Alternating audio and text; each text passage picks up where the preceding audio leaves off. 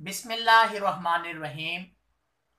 ہمارا آج کا ٹاپک ہے حکم علاج اور اس کی ضرورت۔ بعض لوگ ایسے بھی ہوتے ہیں جو بیماری کا علاج کرنا خلاف توکل سمجھتے ہیں۔ حالانکہ یہ ان کی غلطی ہے۔ کیونکہ توکل اس چیز کا نام نہیں ہے کہ انسان ہاتھ پر ہاتھ دھرے بیٹھا رہے اور کہے کہ ہر کام خود بخود ہو جائے گا۔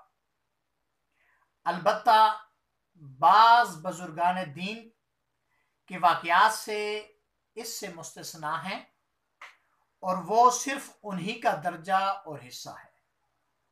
خود سرکار مدینہ صلی اللہ علیہ وآلہ وسلم نے توکل کے ساتھ ساتھ عمل کا حکم بھی فرمایا۔ بلکہ عملاً ایسا کر کے بھی دکھایا۔ مثلا میدان جنگ میں بنفس نفیس تشریف لے گئے۔ کفار سے مقابلہ فرمایا اور اللہ عز و جل پر بھروسہ کیا۔ یوں نہیں کیا کہ مدینہ میں تشریف فرما رہے۔ اور بغیر عمل کے توکل کیا ہو۔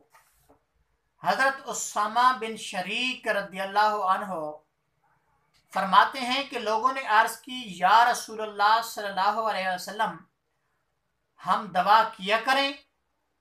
تو آپ نے فرمایا ہاں اللہ کے بندو، دوا استعمال کیا کرو۔ کیونکہ اللہ تعالی نے کوئی بیماری پیدا نہیں کی، مگر اس کے لیے شفا پیدا فرمائی ہے۔ سوائے ایک بیماری کی اور وہ ہے بڑھاپا۔ حق یہ ہے کہ دوا کرنا بھی تقدیر الہی ہی سے ہے۔ حضور سرور کائنات سے کسی نے عرض کیا کیا علاج کرنا تقدیر الہی ہو سکتا ہے؟ یعنی کہ تقدیر الہی کو بھی یہ لٹا سکتا ہے۔ تو اس پر تاجدار رسالہ صلی اللہ علیہ وسلم نے ارشاد فرمایا کہ علاج بھی تو تقدیر الہی سے ہے۔ حضرت ابو حریرہ رضی اللہ تعالیٰ سے روایت ہے کہ رسول اللہ صلی اللہ علیہ وآلہ وسلم نے فرمایا کہ اللہ تعالیٰ نے کوئی بیماری نہیں اتاری، مگر اس کے لیے شفا بھی نازل فرمائی۔ ان حدیث مبارکہ سے پتہ چلا ہے کہ ہر بیماری جو پیدا کی گئی ہے، اس کا علاج بھی پیدا کیا گیا ہے۔ اس لیے بیماری کا علاج نہ کرنا گناہ ہے۔